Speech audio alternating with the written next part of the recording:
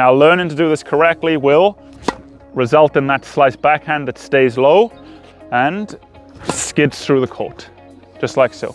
Now, how would it feel to be able to hit that slice backhand that stays low and skids through the court?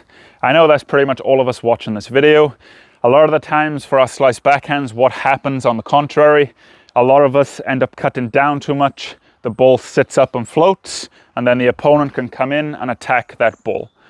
So the question is, as always, how can you effectively hit that slice backhand that results in that lower ball that skids through the court?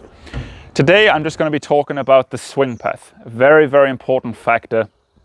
And if you just master the swing path alone, it's really going to help you develop more of a slice backhand that bites and skids through. So let's talk about the swing path. The basis for this, you want to replicate what we call a banana style swing shape. What does that mean? That essentially means at the end of the unit turn, so here I'll split step, I'll complete my unit turn, the hands and racket are relatively high, just beneath shoulder level. Now from here, you'll step forward and you'll swing down slightly to contact. And now, after contact, this is the most important factor. After contact, it'll go down a little bit more, but then I'll redirect back up and out towards my target. So that's why we call it the banana style swing shape. Now that being said, what do you most likely see at the club level and sometimes even at the pro level? You see when they pull the swing down and across their body. But this right here can cause a lot of problems for players because you can cut under the ball too much, which results in that ball sitting up and floating. And remember, when you do this, if the ball sits up and floats, now you're really giving your opponent that ball which they can attack on, and now putting yourself in more of that defensive position. So instead, to simplify, we're working with a drive slice today. You want to work on that banana style swing shape where you drive forward and upward back out towards your target and replicate that banana swing.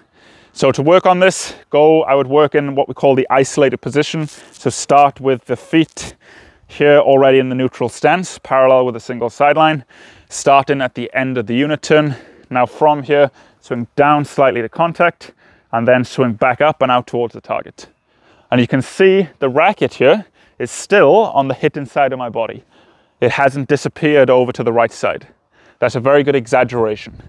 After you've done that a few times in the shadow swing, then take a few balls. You can go inside the court initially to simplify, starting in the isolated position, complete just a half turn to begin with, and then you're going to toss the ball under your hitting arm at approximately a 45 degree angle. So it goes out in front of you.